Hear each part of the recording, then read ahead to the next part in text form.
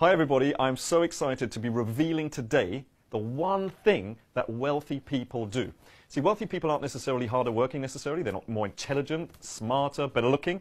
But I'll tell you one thing that they do is they manage their money. What do I mean by that? If I asked you right now how many bank accounts you have, you might say one, two, three.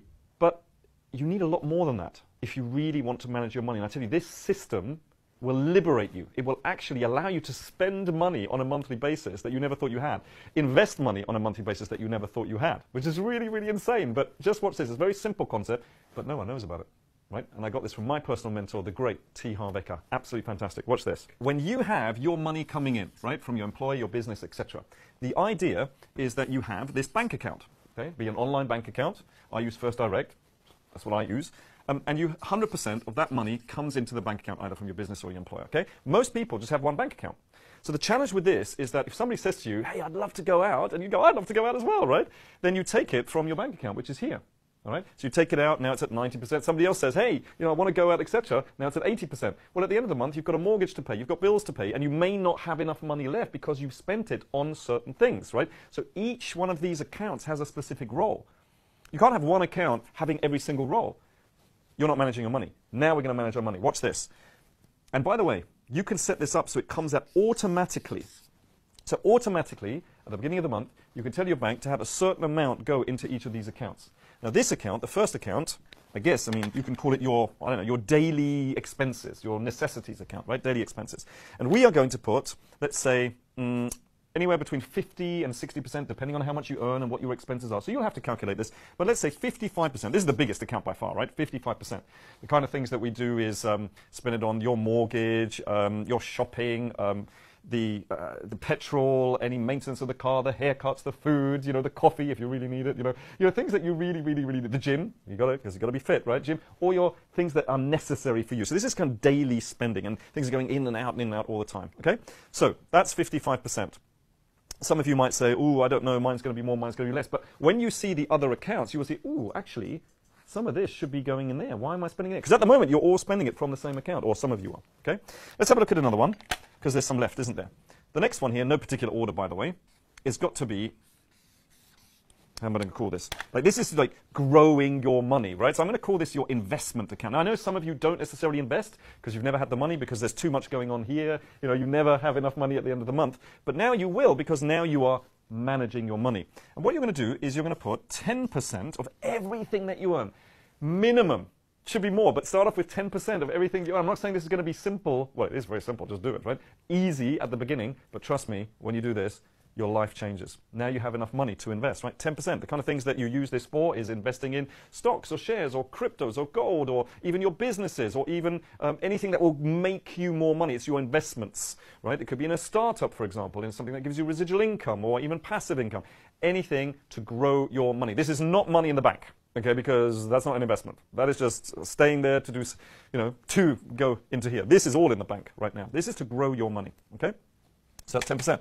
Oh, this is exciting. Okay, what else do we have? What else do we have? Well, you also need to, and this is very important, one thing that you need to do in order to learn how to invest, you need to do personal development or growth. You can call this, by the way, it's up to you what you call it, right? I'm going to call this G for growth, but you can call it PD, personal development, or personal growth, PG, if you want. And we are going to put a minimum of 10% of everything that you earn, every single month, we're going to put in here.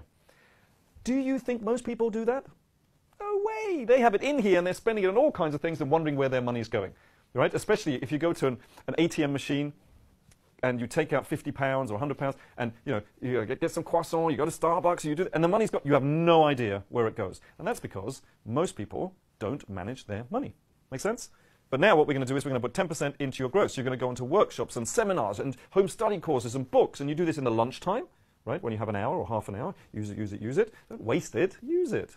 So yeah, but that's my time off. Well, learn something that you enjoy, like a hobby which will make you money, whatever that might be. For me, it was always trading and investing, but that's just me. For you, it doesn't have to be. And before you think, oh yeah, you're trading and investing, it's, like, hold on. At uni, I was the guy with the long hair and the beard, and I didn't work until the age of 29. So believe me, trading and investing, growing my money is not something that came natural to me. I had to grow into it. I had to learn how to do it. Okay, now you're going to love this one, I'm sure, because everybody loves this account. Because how many of you love to have fun, right? This is your fun account. This is the account that you're going to spend every single month. You have to. You're going to put 10% and you have to spend that money. Now, some of you are saying, what's the problem? I can spend a lot more than that, Marcus. It's not a problem, right? You're the spenders. No problem. I'm not like that. I'm a saver. So for me, I find it challenging to spend that. In fact, I can't spend that. I have to force myself to spend that. Literally, I have to go into a shop. I've done this plenty of times, like at airports. Gone in and said, "This is your lucky day. You, I, have got like, I've got literally a day left. You have to help me spend a thousand pounds right now, because tomorrow I don't have time." So you go, and they're like, "Oh, come with me." You know, I'm buying all this stuff and didn't really want half of it, but anyway. Um, so I guess I should have learned to spend it earlier, right? That's managing my money as well. So this fun account is 10% goes in there. Now, I'm going to come back again and explain why this is so important because if you didn't have these and you had it here, right? And somebody said, Do you want to go out? And you go out. Do you want to go out? Oh, yes, what is it? A birthday? Oh, I need to buy a present, right? So it all starts, da, da, da, da, da, and then when you're there, you have fun, da, da, da, and then you spend a lot more, and then at the end of the month, you don't have enough money. Now, watch this. When you have 10% here, and somebody says, Hey, you want to go out? Have fun, right? You go, Well, hold on a moment. I do, but you look at your bank account, it's all online, okay? And you notice that you have money in there. Right? You say, yeah, I want to go, I don't want to go. Great. So you do it again, right? You have fun. Then somebody else says it, and you say, oh, I need to buy a present. Now this is going down and down and down down. The third time somebody says something to you, as an example, it could be the fifth time. Let's say it's the 16th of the month, and somebody says to you, hey, do you want to go out? You go, yes, I do. Hold on just a moment. Uh-oh. And then the answer is no, because you have no more money in your fun account. Is this making sense? Now, watch this. If that would have been here, you would have carried on going out, carried on going out, carried on going out, and you would have eaten into your investment account, you would have eaten into your growth account because they didn't exist. And then you will never have enough money to invest, you will never have enough money to grow, and therefore you stay not very wealthy. Does that make sense? Whereas here, we're setting you up to win. The other system isn't a system, this is a system. Do you see the difference? So, by the way, what do you spend this on? The best that life has to offer, my friends. So, for example, have you ever been to a restaurant? You go, I can't believe it. Actually, I did this the other day. I went, I went to this restaurant and I said, this is ridiculous. I mean, it's not. But you know what? It's the experience. It's to grow and nurture your inner child. So you have fun and you do stuff and you, you, you go to a hotel and you spend a thousand pounds or whatever it is, right? Whatever it is to experience the best that life has to offer because you have to have fun. Now, I know for a fact that some of you are watching this and you're saying, ah, I've already found a way out of this system. I know, right? You said, well, hold on, if I just have less fun, I can put this money into my investment account, then this is 20% and I'll be rich faster. Logically, makes sense, yes? No, don't do that. Because if you don't nurture your inner child, if you don't have enough fun, then you're working, working, working, and it will trip you up. You will self sabotage because as you haven't looked after me, now I'm not going to look after you. It'll make you late for a meeting. And you don't want to be late in a meeting, especially if it's an important one, right? It'll detour you. It'll, it'll you know, during a meeting, you'll, you'll, you'll do something, you know, in order for you not to get the result because you have not balanced. I've just used the word balance. Can you see what this is all about? This is about balancing your life. You're going to grow, you're going to invest, you're going to have fun. Can you see the balance? Whereas before, I don't know, do you have balance in your life if you just do this? So, this is a very important account, and this needs to be empty every single month. Right? This one, not necessarily. This one, not this. You're not just going to invest in something just because, you know, oh, I need to invest. I'm going to put it in there. No, but it wasn't time to invest. It was the wrong time. Why did you? this one, but this one, obviously, this one's going on a daily basis. You're spending. This one here at the end of the month should be empty should be empty. Okay?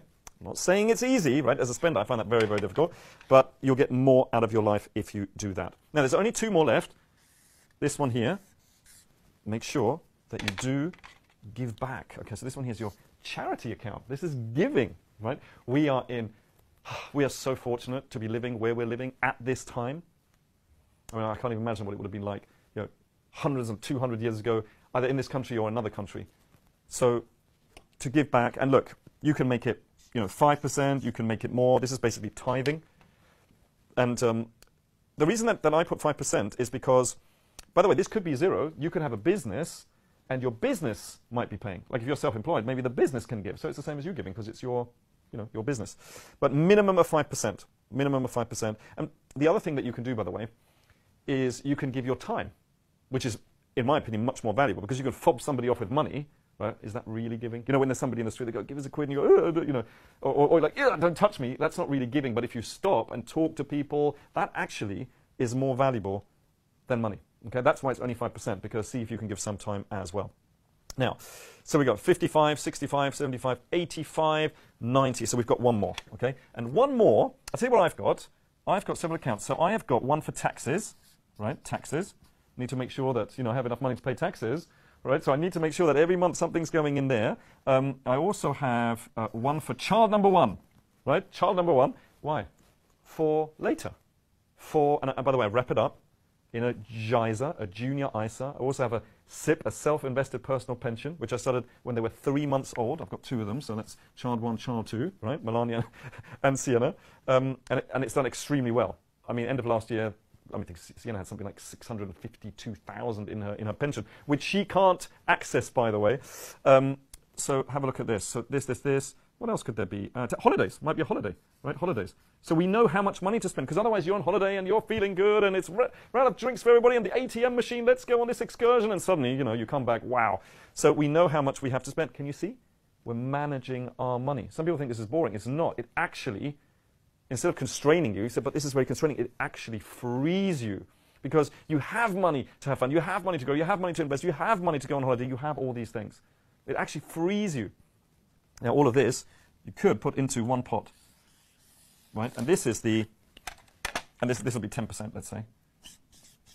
10%. Now, this might be more. This might be a separate one because if you have a lot of tax to pay, because normally the tax gets taken, doesn't it? Normally gets taken by the uh, before the employer takes it, gets taken at source, and boom, it comes in here. But maybe you have businesses and whatever, so we always make sure that we do uh, save on some tax there as well. So that will be another 10%, and this is savings. This is your savings. So I'm saving for um, Melania and Madrika's uh, school later on, uh, it'll be uh, university, or maybe they want to have a down payment for a house, whatever. They are going to pay for it themselves. I'm not going to pay for it because I've done it since they were three months old. So there's years and years and years in there, right? So that's brilliant, absolutely fantastic.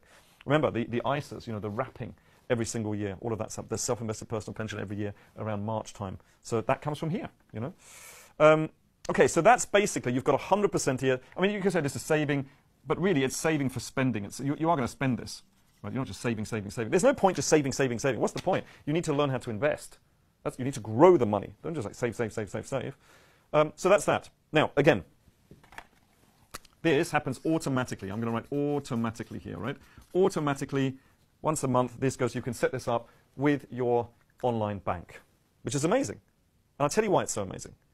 Because you don't miss the money. So, for example, before you just had this one account here and everything came from this account, right? But when it gets taken out, you don't have it here. You won't miss it.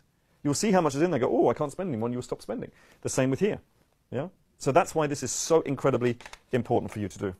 One thing I will mention, if you really want to go for it, you will actually have a debit card or credit card for each one of these, for each one of them. Because think about it. Let's say that you wanted to have some fun. Well, you don't want to spend, you don't, you, you don't want to take it out from here. What you want to do is you want to have a credit, credit or debit card just for this account. So if you don't want to have a debit or credit card, that's pretty hardcore, right? You're like, all your credit cards, you go, oh, it's this one here and it's this one here.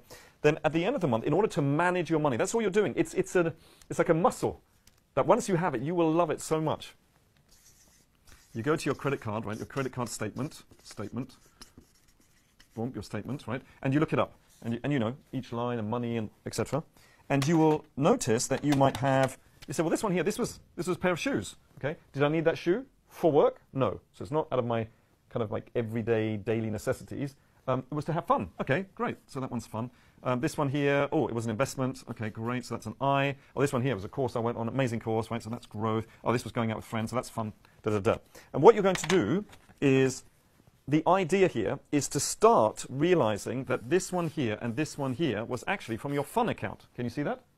So the credit card statement comes through, okay, but you may maybe haven't paid it yet. And so what you would do then, you would say, great, so what I need to do now, obviously, since I put it on this one card, which is supposed to come out of my main account, right, let me remind you, let's say if you only have one credit card and that will be from your main account, probably this one here, right, what you will probably do is say, right, you add the total amount that you spent on for the fund and you transfer it back here and then transfer it out and pay your credit card company. You do the same with all of these, Okay, so if you did a lot of investments, you add them up, add up, add up, pay whatever it was, you transfer the money that's in here to here, and then you pay the credit card from there. Okay, so you just go one, two, three, four, five, six, takes minutes. It doesn't take long at all. At all. It's just a number, verify, dunk, and it goes into your account. Dunk goes into your account, and then you pay off the credit card. Okay. Now what you're doing is doing what hardly anybody does, and that is managing your money. I've had people come up to you and say, Marcus, this is the most amazing system. They said, I had never had any investments, now I invest. I said, oh, because it was out of context. I didn't understand what they were saying. I was just happy for them, right? I didn't know they were talking about this. They, they said, I said, oh, did you get, you know, did you get a raise at work or did you get a new job? And they said, no, no, no, it's the system, the system. Oh, I see. So, uh, for example, a teacher came up to me and said, oh, you know, I never used to give to charity. I do that now and I invest and it's absolutely amazing and da, da, da. Same amount of money. Didn't, didn't get any more money. Didn't get a pay rise. Didn't start a new job or anything. Just managing the money. Because like I say, when it comes out of the account, you don't actually miss it. If it's in there, you spend it. And that, my friends, I believe is one of the secrets to becoming wealthy over time. I hope you enjoyed this, but more importantly, do it. Do it, do it, do it. Do not waste another second. I still do it to this day. It will transform your finances.